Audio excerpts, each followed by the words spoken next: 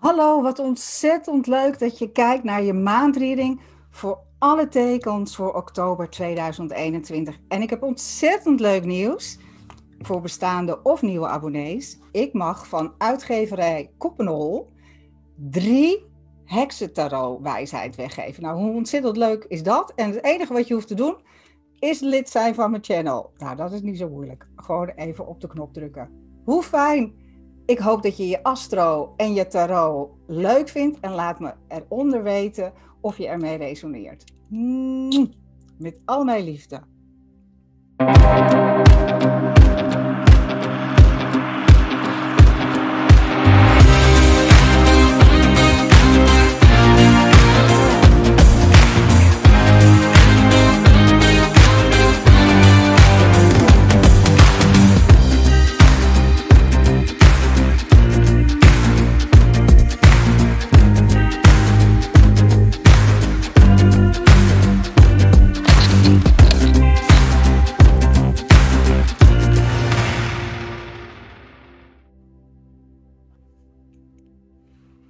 Hallo lieve boogschutter. Wat ontzettend leuk dat je weer kijkt. Ik heb zoiets moois voor jou. Drie decks om te winnen. Ik ben eventjes mijn sissel bij elkaar aan het zoeken. Van de heksenwijsheid. Ik mag van Koppenhol. En er zit ook een heel mooi boek bij. Lekker dik. Super kwaliteit. Hele mooie kaarten. Mag ik er drie weggeven. Maar dan moet je wel abonnee zijn en ook op het belletje drukken, want anders weet je niet wanneer ik ze verloot. Ik ga straks een mooie kaart trekken.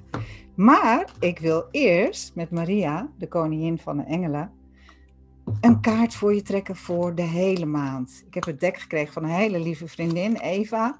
Ik ben er al dik een paar jaar verliefd op. Ja, maar ik kon niet krijgen. Zij kon het natuurlijk weer vinden. En super fijn dat ik jou daarvan mag mee laten genieten. Wat heb ik? Geven en ontvangen. Dat is wel helemaal mooi met dit thema. Ik breng vrijgevig zijn en ontvankelijk zijn met elkaar in evenwicht. Want die zijn allebei even belangrijk. Geven en ontvangen. Prachtig.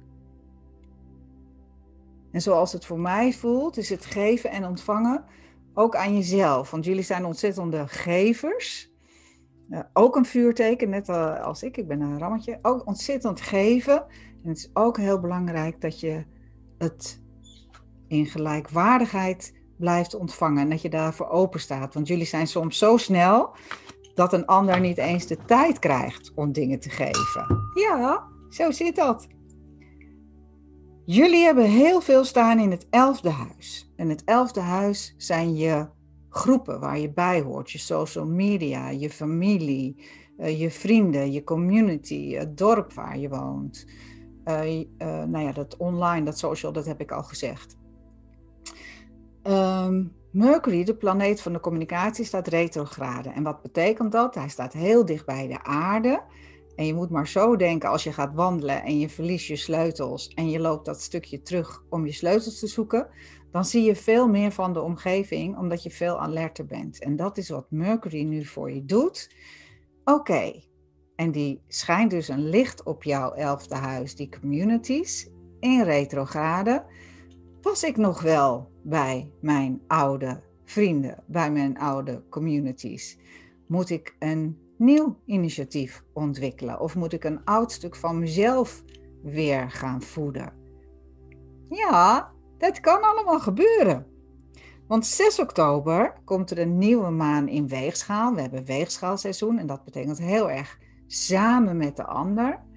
Um, in dat elfde huis. Misschien is er wel een nieuwe groep waar je bij past. Of waar je bij wil horen. Of zijn er nieuwe vriendschappen voor je?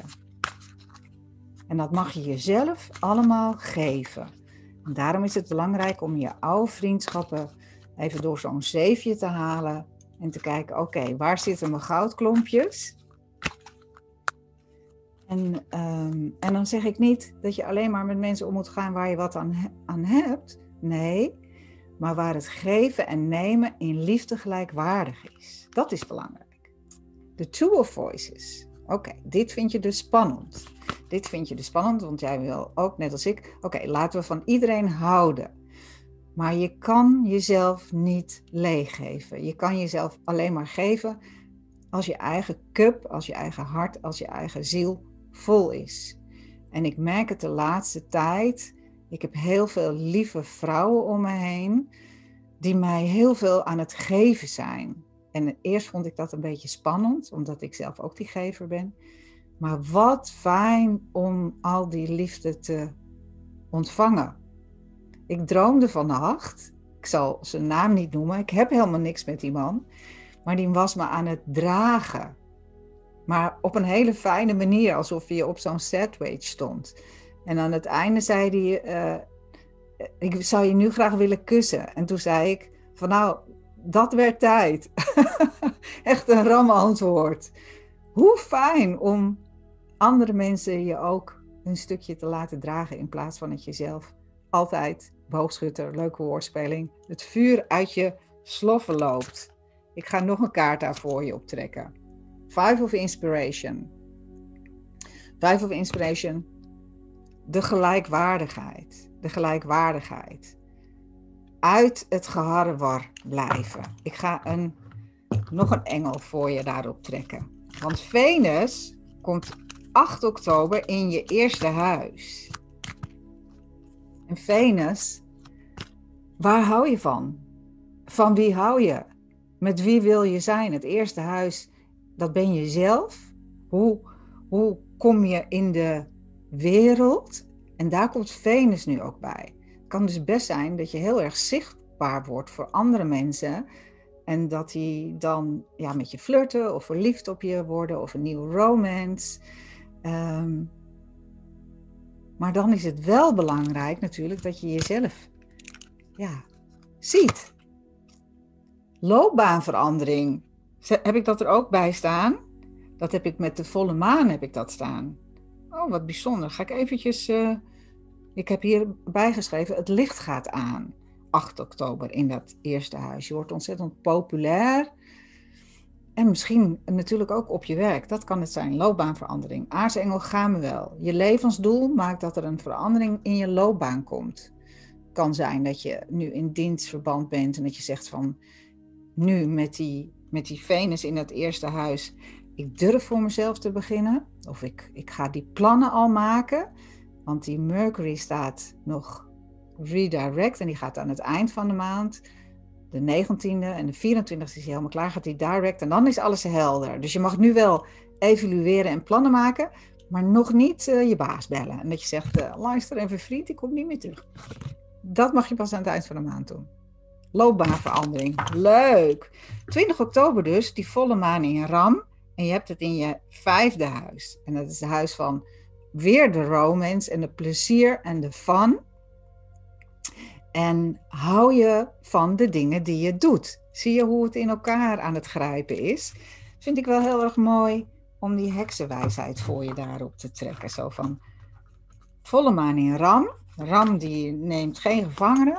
Die is echt, oké, nu gaan we de onderste steen boven. En die volle maan die laat aan jou zien in het huis van plezier. Het zijn ook de ZZP'ers, de eenpitters zo van, oké, hou ik van mijn werk? Hou ik van de mensen waar ik mee date? Hoe ben ik met mijn kinderen? Ik zet alle astrologisch hieronder, hè, dat je nu denkt, oh, het duizelt me. Nou, dan kan je het gewoon even nalezen. Vier van aarde. Samen bouwen. Het samen bouwen. Het grappig, het samenwerken. Ja, ik zie jou wel als een soort spil en dan met mensen allemaal eromheen. En ik zie je vrolijk zijn en ik zie je lachen. En het is puur gewoon in je, ja, jezelf toestaan om weer uh, het centrum van het universum te worden. En dat klinkt een beetje leeuwachtig. Zo van oké, leeuwen willen graag onder de spotlight staan. Maar als jullie goed in je vel zitten en met die volle maan, uh, dat, je, dat je zegt van ja, Nee, er zijn bepaalde dingen die ik aan wil passen, want ik wil weer schaterlachend door het leven. Nou, dan is dit nu een hele mooie tijd. 24 oktober komt je zon in je twaalfde huis te staan. Kijk, en dan komen alle eindjes bij elkaar van deze maand, zo voelt het voor mij. En dan staat de magier in jou op. 24 oktober begin ik ook met mijn Mystica groep. Op de zondaggroep, de donderdaggroep 21 oktober, ben ik helemaal compleet. Ik heb op de zondag 24 oktober nog twee plekjes. Mystica en haar meesterschap. Gaan we allemaal dit soort dingen leren. Dat twaalfde huis is alles wat verborgen is. Dat zijn de mensen die overgegaan zijn. Het zijn je, je talenten. Het zijn je fijngevoeligheid. En dan vraag ik eigenlijk, je bent zo populair geweest deze maand. Oké, neem die rust.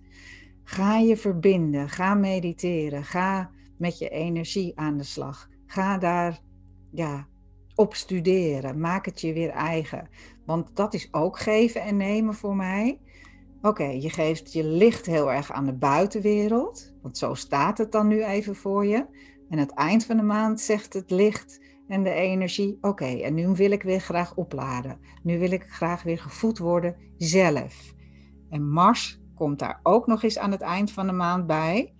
En het vraagt je met passie dat te doen ja, waar, je, waar je ziel weer van gaat zingen. Dus eerst mag je letterlijk, ik wilde bijna zeggen, in je blote kont gaan zingen in de wereld, maar dat moet je voor jezelf weten. Ik bedoel in ieder geval vrolijk en vrij. En aan het eind van de maand, de 24e, dat die zon in je twaalfde huis gaat, die zegt: Oké, kom nou maar weer binnen.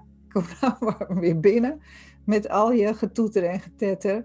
En nu gaan we helemaal puur in de magie. We gaan, we gaan voelen en we gaan onze spels casten en we gaan, nou ja, het bovennatuurlijke kussen. Dat is wat ik voor jou heb, lieve boogschutter, deze maand. En ik zeg, dat is best gezellig. Word abonnee, druk op het belletje, win een mooi dek. En ik zie jou in november. Ik stuur je al mijn liefde en laat onderaan het filmpje weten of het met je resoneert. Mooie maand hoor. Wauw.